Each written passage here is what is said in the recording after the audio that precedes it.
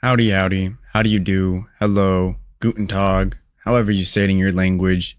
It's the one, the only, Benjamin Scovach, the good American, the last good American. Today, I, Benjamin Scovach, will be teaching you how to pronounce every country in the world, including the USA, Spain, Mexico, and many, many more. Please like and subscribe if you enjoy.